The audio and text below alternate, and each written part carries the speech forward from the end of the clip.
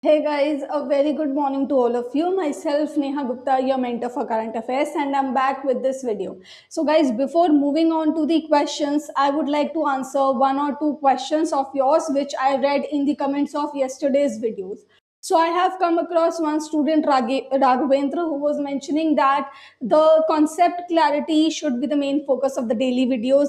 Then Pragya was also there. Uh, she was also telling me ma'am, please inculcate more concepts and you can reduce the number of questions. Okay, so that we do not have uh, any question left out in the video itself that is of importance or any complex topic should not be eliminated from the video in order to cover more and more questions. So here i would like to assure all of you guys that you need not to worry about it because i am going to cover all the questions that need explanation in the video itself and my focus is not at all on the quantity of the questions. No guys my focus here is on the quality that i provide you the maximum within the minimum time frame okay? Because i know your time is precious.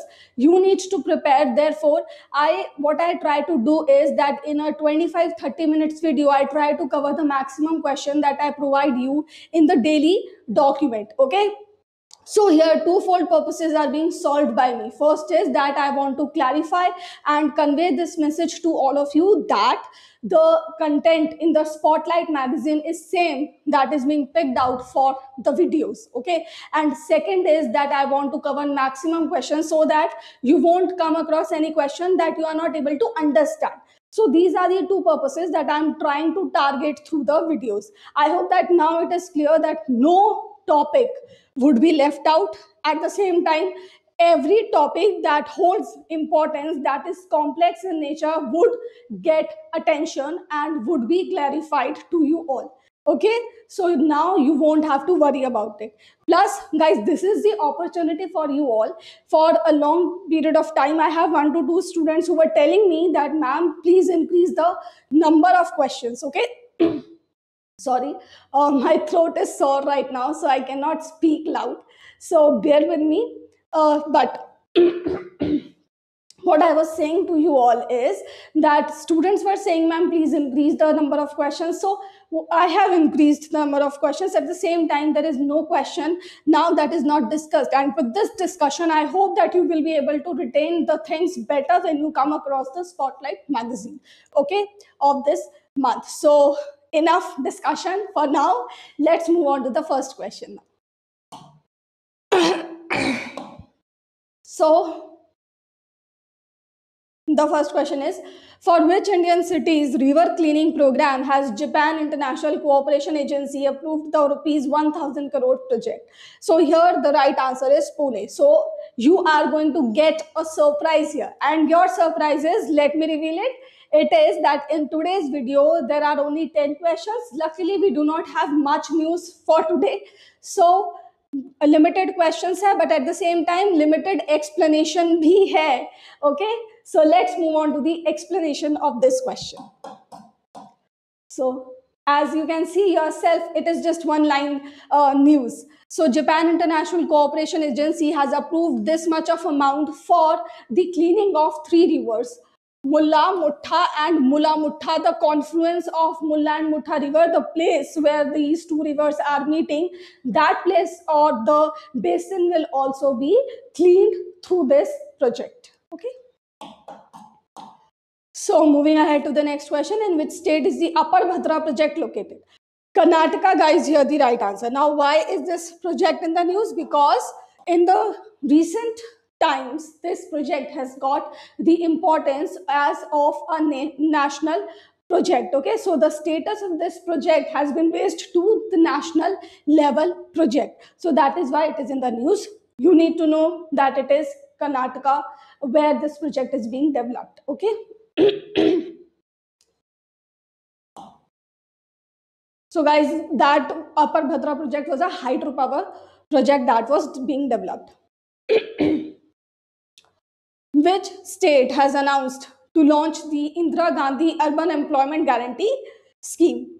So here Rajasthan is the right answer. Recently, the Rajasthan government has released its state budget for the coming year, and in the budget, certain schemes were highlighted. And from the exam point of view, which exams are we targeting here? RBS, Abhinabad, and any other banking level exam, particularly. Okay, so in your exams, the max question that can be framed out of this news is the schemes highlighted or the new initiatives announced in the budget of Rajasthan because there are a total of 28 states in India. And how many things can you remember from each state's budget? Okay, so your memory has also a boundary, and that is conspicuous to the examiner as well. Therefore, the examiner is not going to ask you the details. He will, or he or she will, will restrict himself or herself to the to the basic things only in my opinion okay so let's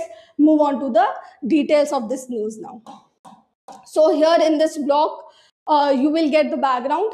So the state budget has been announced and you also need to know that the elections are due in Rajasthan in 2023.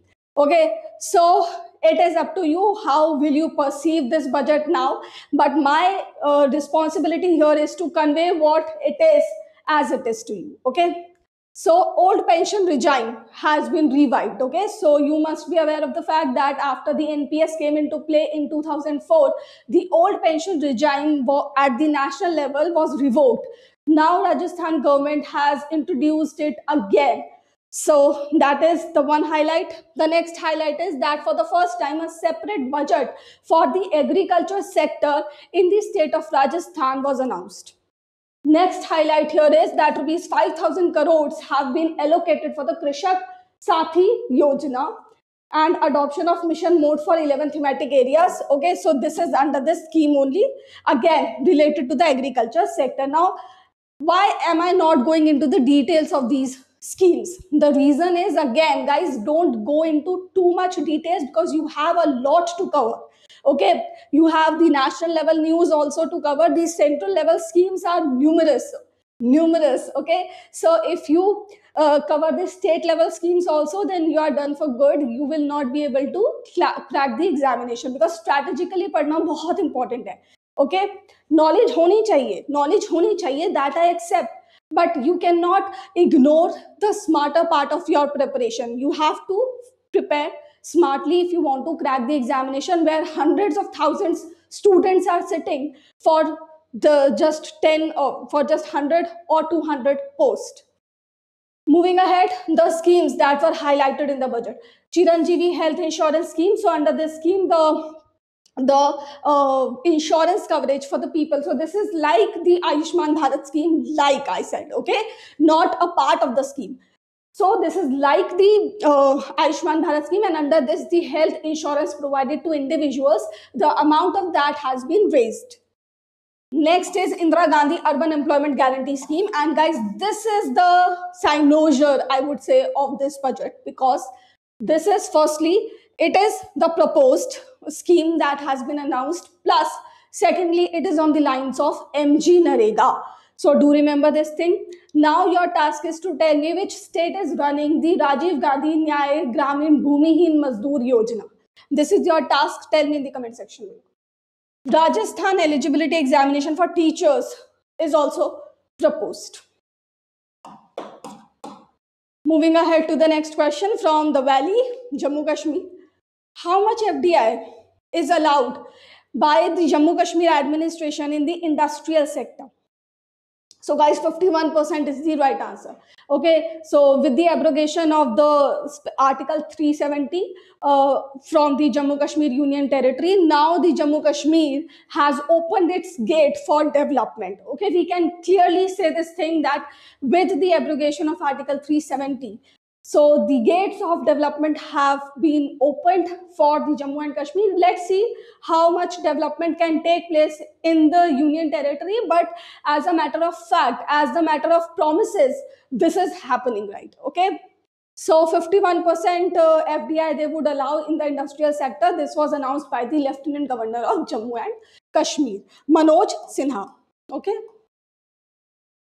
The name is not mentioned here and the target as Manoj Sinha has announced, is to have rupees 100 crore investment in the union territory, a huge or ambitious target, I would say. Next question is of importance as well as interest. Okay. So, what is the venue of the multilateral air exercise Cobra Warrior? Do remember air exercise, Air Force participates. Now, what is the venue? It is Waddington in UK. Okay, it is a multilateral exercise being hosted by UK. Now, do remember that India is going to participate in this exercise, and the helicopters that will participate to represent India are Tejas helicopter, light combat aircrafts, uh, which are named as Tejas. Your task is tell me which government defense PSU uh, creates the uh, Tejas or manufactures Tejas. Do mention it in the comment section below. So as far as the news is concerned, the other participants are these Belgium, Saudi Arabia, Sweden, and USA. Moving ahead to the next question, which bank has introduced two new services for allowing its customers to receive and send remittances to foreign countries? Okay. So now the digital platforms have been announced by the bank. So which bank is it? It is the South Indian Bank. So guys, who is the head of this bank? Tell me in the comment section below. So I have many questions that I have given you as a homework and I'm pretty sure that my students are going to do their homework and please mention in the comment section below. And yes, this reminds me that guys, uh, from now onwards, I am present whenever you see the video at 7 o'clock. You know that in the morning the video premieres and when you are watching the video at 7 o'clock in the morning, I will be there attending your live chat. So if you have anything to discuss with me, you can put it in the live chat because I'm watching your uh, chats so that I can clarify your doubts. So if you have anything to, dis- to discuss with me, to anything to clarify, anything to suggest, any feedback, you can you can mention it in the live chat. We can have a discussion also in the live chat only okay? So do remember that your mentor is there for your help. So do not hesitate in asking your asking for help. If you need any help regarding the current affairs or any topic that i have taught in the videos and you are not able to understand that you can also ask that in the live chat. So coming back to the news itself south south indian bank has introduced two new services to allow its businesses to send remittances to foreign countries and to receive remittances from foreign countries. For those who do not know what remittances are, let me tell you that remittances are the uh, remittances, the money sent by the uh, foreign, uh, sent by the Indians who are residing in foreign countries to India. At the same time, the foreigners residing in India to their home country. Okay, so let me give you an example. Suppose uh, suppose i'm married my husband goes to qatar to work there okay? Now he sends uh, he sends me uh, his monthly income a share of his monthly income back in india. So that money that he's sending to me is the remittance for india okay? However i will use that money for my personal purposes. But at the same time if you count the national level income or the, the national level remittances so these remittances are counted okay? At the family level at the individual levels. So this is the remittance that the one uh, individual of a nation sends back to his nation. That is the remittance. And you should be knowing this fact that the foreigners also work in India. So they also send back money to their family members residing in other nations. So this is how remittances flow out of India. And another point regarding remittances is that India is one of the largest receiver of remittances in the world. Okay, so we have many uh, NRIs who are residing in foreign countries. So do remember this fact as well. Now, moving back to this news, what are the platforms? First of all, understand that the remittances, uh, remit outward remittances that the that the foreign nationals residing in India would send to their families outside India that would be allowed through net banking platform and the inward remittances that India would receive or the people residing in India would receive from their relatives residing in the other country that would be allowed through UPI. Okay, so these are the two platforms. Now, for outward outward remittances, SIB ER Net is the name of the platform that facilitates this remittance outflow. Okay, now do remember the outflows are provided in 100 currencies. Okay, this is a really important point here. Next, inward remittances. So, for inward remittances, SIB Express platform is there, which is entirely structured on the NPCI's UPI. Okay, so this is the entire news. Now let's move on to the next question.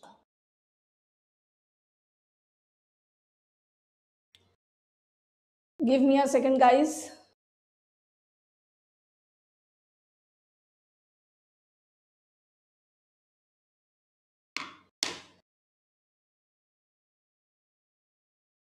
Okay, so there was a technical glitch in the computer. Now it is resolved. Moving ahead to this question, with which bank has Trip Money partnered for launching a rupee denominated secure credit card, Trip Money Global Card? So here guys, SBM Bank India is the right answer. First of all, SBM stands for State Bank of Mauritius. Okay, so it is a foreign bank operating in India. What is the tagline of this bank? This is your homework.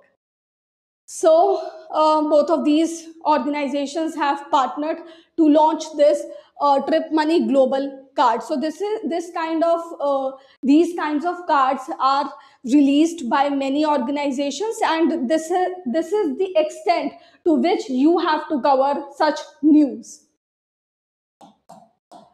Moving ahead, uh, where has IBM established its cybersecurity hub for Asia Pacific region? So guys, here Bangalore is the right answer.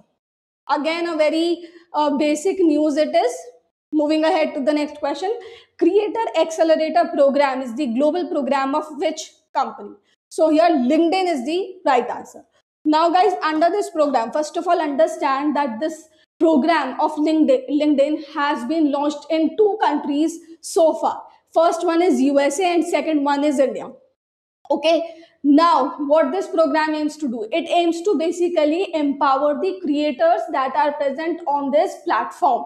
Okay, so empowering them or giving them incubation like support so that they can build on their community, creator community. So, that is the basic idea of this creator accelerator program. Incubation like support provide karana hi inka basic maksad hai. Okay. So I think we have discussed everything regarding this. Now the most important part here is that it is the part, this program is part of LinkedIn's 25 million US dollar com commitment to creators globally. Okay, so this is again a fact that you need to know. Last question for the day, which sport is played by Sakibul Ghani? Guys cricket here is the right answer. Now why is this person in the news? Because uh, in his debut in the ranji trophy he made three, three centuries okay? 300 runs three centuries and this is guys a history okay? A record that he has made in his debut match only that was played in the that was played uh, in the Ranji Trophy tournament. Okay, so that is why he's in the news. The part that you may skip is that he belongs to Bihar. So this is guys important. So guys, that's all for today. I hope that you have enjoyed the session. And if you have really enjoyed the session, then do mention it. I am listening to your, uh, basically to your comments, not listening, basically reading your comments. I'm there present in the live chat. So if you want to give me the feedback immediately, mention it here because I'm watching your live chat. At the same time, guys, do not forget to subscribe the channel and hit the bell notification because you know that we provide you with useful content. So if you need that content, do not forget to subscribe and hit the bell notification. And also, Telegram channel be subscribe kar lena because you will get the PDF only on the Telegram channel. Thank you so much guys for watching the video of today. Good luck. Have a good day.